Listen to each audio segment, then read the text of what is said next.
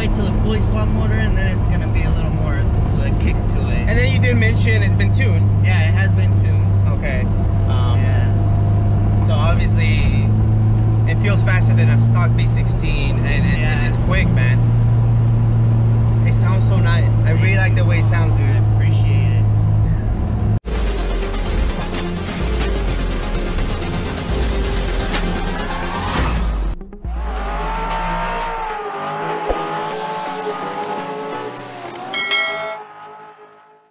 All right, everyone, welcome back to the Automotive Anatomy. Today we have Chris. Chris, thank you so much, man, for making the time for us. Oh, Definitely problem. appreciate it. Oh man, it's gonna be a treat for us, man. what do you drive? Uh, I drive a 1991 Honda CRX, a DX model. The DX model? Yeah. Oh It's man. the base model. Oh man. Is it lighter? Uh, yeah, because due to not having the sunroof. Mm-hmm. It's like 80 pounds, right? I think that's I believe so, something Yeah, like that. I've never actually weighed one, but I know it's around there. Yeah. So I mean, now it's probably it weighs like 800 pounds. These things are light. Nah, I don't want. I don't want to say 800. Maybe like around the 2000s.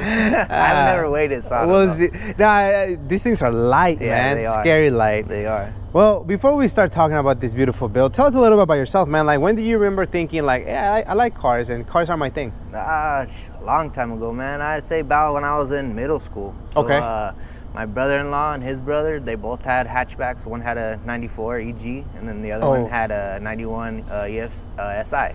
Oh, nice. And uh, always growing up, seeing them build their cars, they Mhm. eventually got stolen. It sucks. Oh, 'Cause that both was of them? yeah, dude, that Oh, was during sucks. that time. Yeah. Uh, early 2000s, I want to say. Mm-hmm. So uh, yeah, and then after that, that's when I knew I was like, God, I like those cars, man. I want to get one. Mm-hmm. And then uh, after that, come around high school, I never never really got a car. Uh, and then after high school, I finally got one. And which was what? Uh, I hate to say it.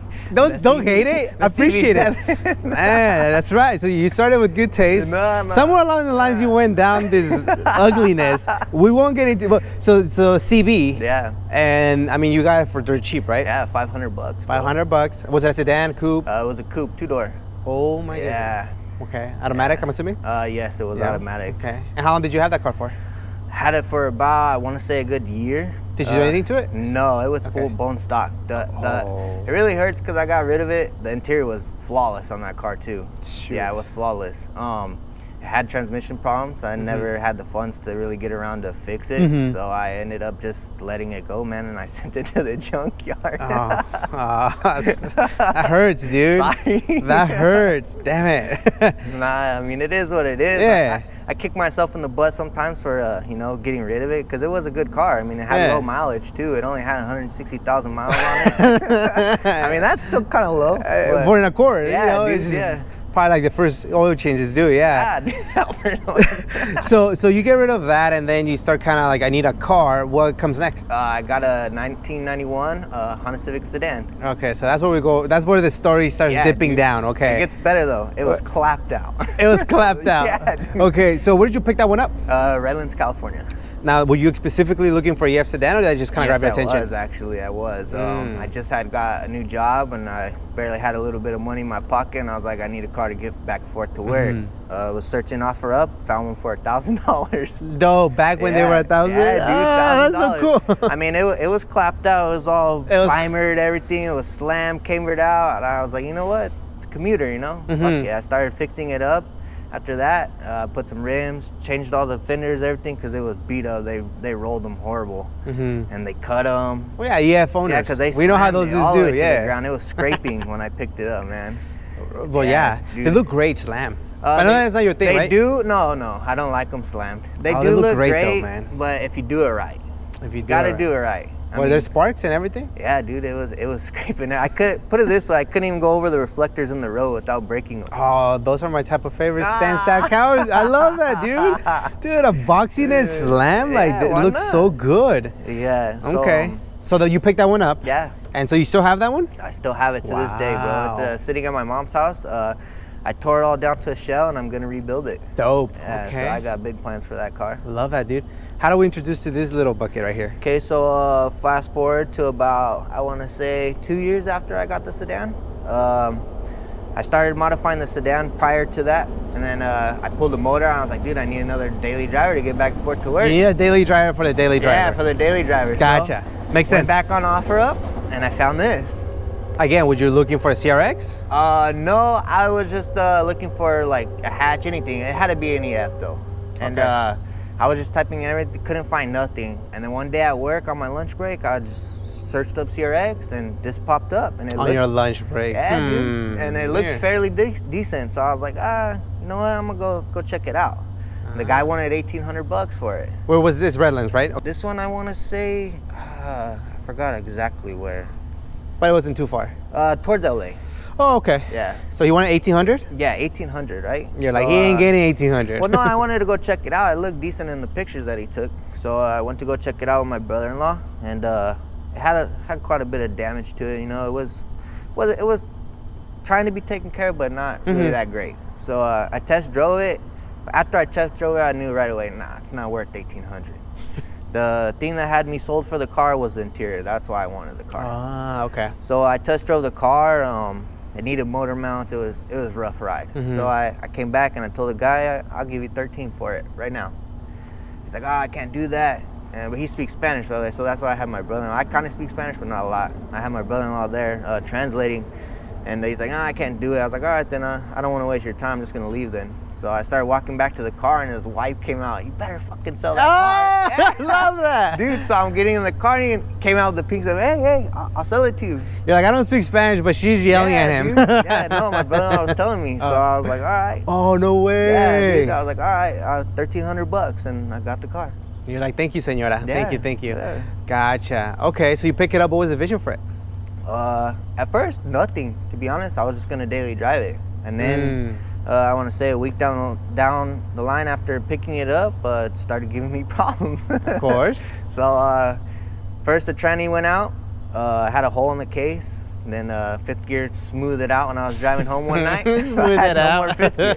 So I had to rip the tranny out, put a new tranny in, and then it started burning oil and smoking like crazy. So Mhm. it had a had a single cam uh, D16 Z6 in it. Mm. So it was already uh, swapped uh, to multi-point conversion with the single cam VTEC in it. Um, it started smoking a lot. It was burning fucking oil bad. I was going through like almost two quarts a week, bro. Oh my goodness. Yeah, it was bad. It was horrible. People would be behind me like this because it smelled so bad. That's so funny. So then I was like, you know what? This motor's done. Mhm. Uh, at first I thought it was just the head, so I, cause I thought the seals were leaking on the, Mhm. on the valve seals.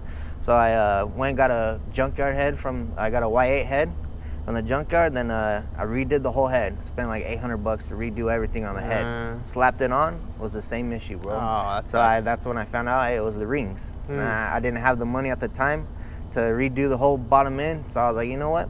Just pull it out. It's cheaper to go B swap. Back then, right? Yeah, back then. I like how you're like, somehow that makes sense in your head. Let's just yeah. do B swap. Yeah, why not? You know, like, a little bit more power. A little bit more, yeah. So I was like, all right. Um, found a B swap on offer up again. Uh, this guy got it. Uh, he was in LA. Uh, he got it from a shipment container. Mhm. Uh, it was in the crate. I got to open the crate and everything. Only had 60,000 miles on the motor. Whoa. Yeah. Yeah. So um, I uh, wait, wait, back up before that. I bought actually a swap before that from a guy for 1,600. Sorry, I got a little ahead of myself. Uh, the dude sold me the swap out of a ZG for it. B series? Yeah, B series. The first B series I swapped into here. Uh, he sold it to me for sixteen hundred bucks, complete swap, axle, Mhm. everything. That was when I first went B series on it, and uh, he let me test drive the car, whatever. Um, I test drive it was cool. Went back a week later to pick it up because he had to pull it out of his car. Picked it up. I swapped it in the in my car that same week, and I was driving the car. Then a rod knock.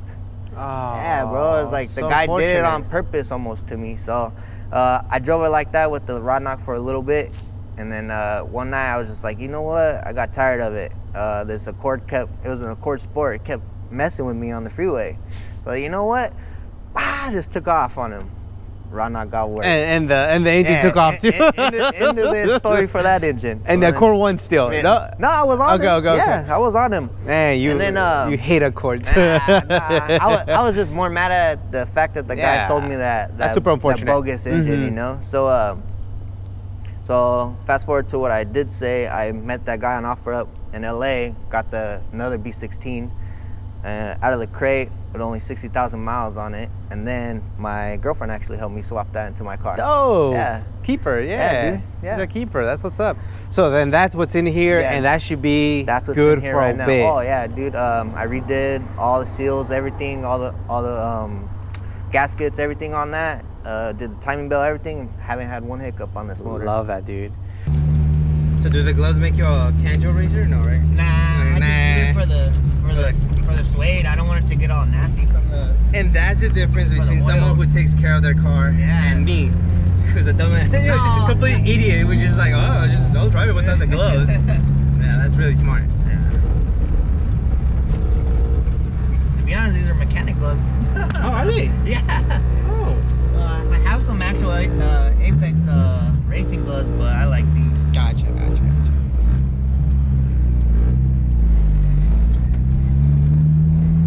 gotcha, gotcha. The car's so fast, I got my hair all up and stuff.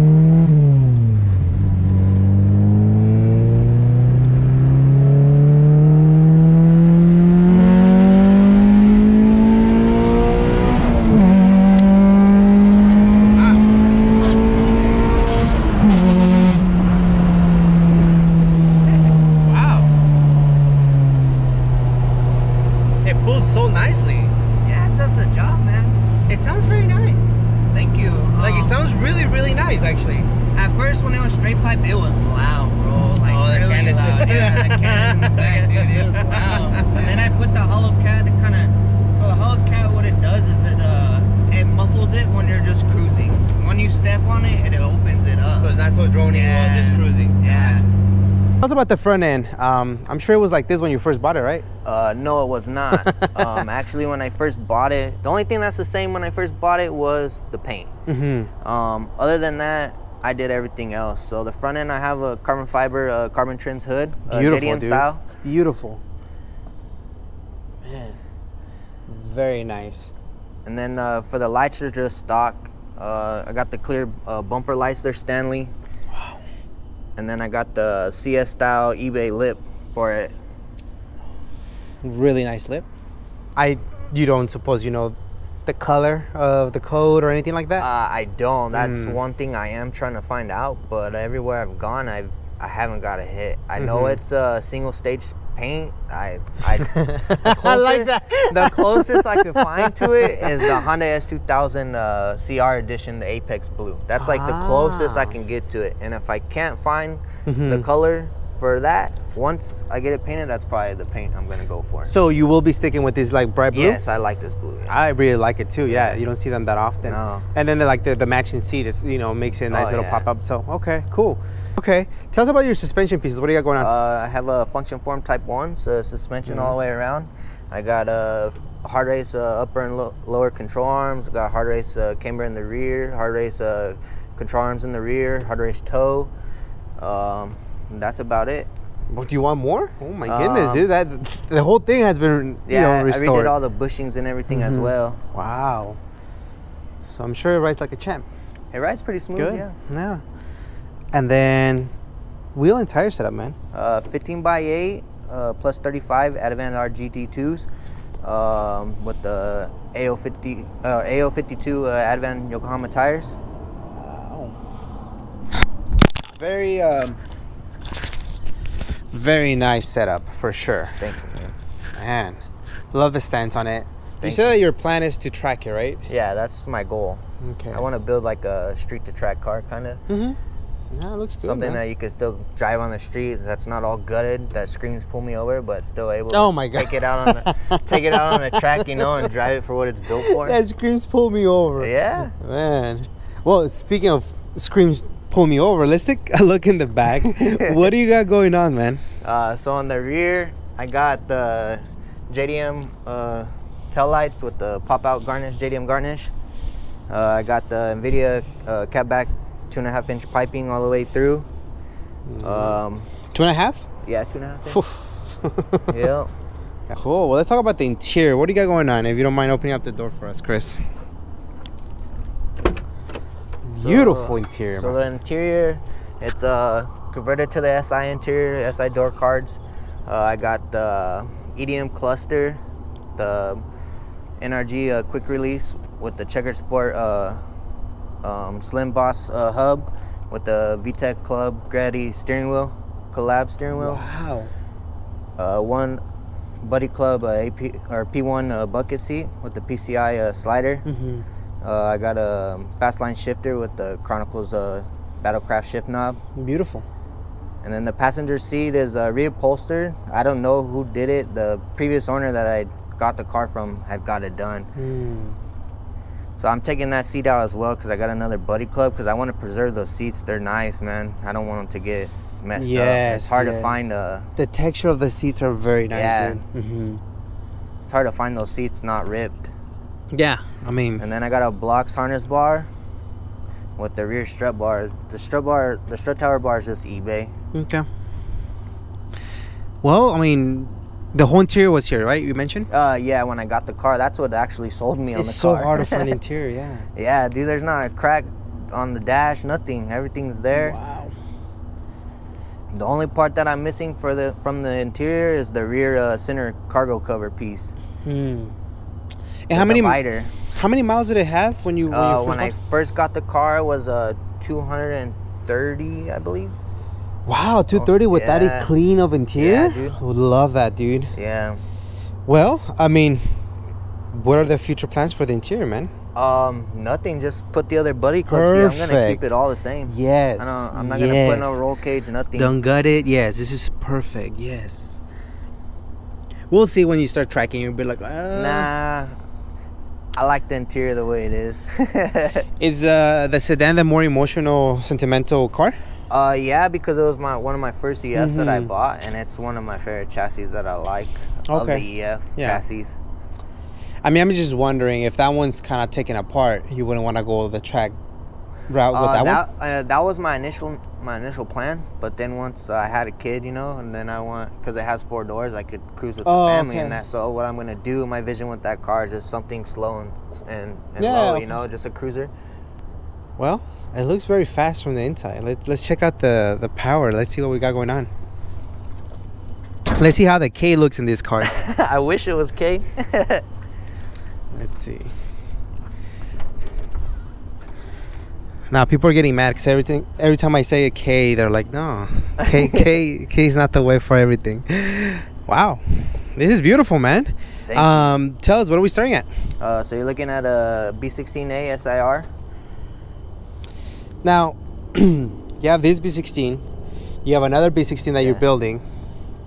Um, let's talk about this one. Is this one completely stock? completely stock. It just has a bolt-on headers and an intake. That's it. This is the one that came out 60,000 miles. Now it has, what do you think, roughly? I probably put. I want to say at least ten. That's Okay. it. I don't drive the car. It sits in my Mhm. garage So the plan is to keep this as is. as is. Yeah. Beautiful. Yeah. This eventually this motor will come out and go on my sedan, and the fully built will go in here.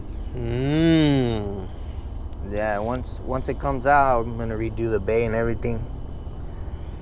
Painting it blue as well? Uh, I might go black. I'm not sure oh, yet. nice. Okay. Just switching it up. Yeah. So as of now, what kind of transmission does it have? Uh, it has a LS cable trans. Nice. Okay.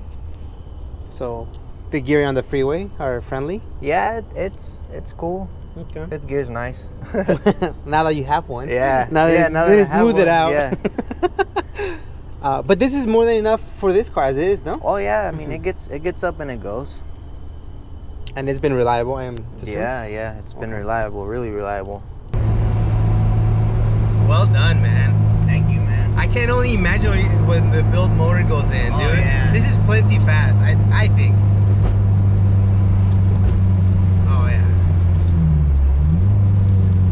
I understand the, the love for this chassis. Alrighty, Chris, thank you so much, man, for making the time for us. Beautiful, beautiful EF. Um, it looks nice, it sounds nice. Um, I think for me, my biggest thing, my biggest joy is thank you for keeping these cars on the road Oh, thank you. it takes for a special having us, it- no it takes a special person to do it uh, i know the ef community i you know all bs aside they're one of the best communities out there they're very supportive and they take pride as they should Yeah. on keeping these cars on the road because the parts are getting hard to find you know Oh, Um, definitely. right as you know and and so uh, well, you you're hoarding all the B16s in the world, so you're part of the only have problem. three. you have three? yeah. Uh, the other one is the rod knock one. It's Oh, sitting there in the garage. and looking for more, Yeah. right? Um, so, so, so you know, you know the struggle. So thank you. Uh, they're amazing cars. Thank you for keeping them on the road. It definitely is. Um, it's nice to see them, you know, out and about. So, um, any shout outs, man? Uh, first off, I'd like to shout out you. Thank you for having me, man. I appreciate it. I honestly was shocked when you asked me and my car to be on your. Thank on you, your man. channel, thank you, man. thank I you. No, it's, it's you guys, man. Thank you, and thank you. uh, I'd like to shout out my brother-in-law and our team that we made, Freedom Runners. Um, and that's about it. That's it. You know, that's good, man. I mean, I'm sure you're forgetting a lot of people. Maybe Yeah, not. I don't shout know. out the whole community too, bro. If it wasn't for them, those, these parts would be they're hard to find. that community, man. Yeah. It's, it's crazy.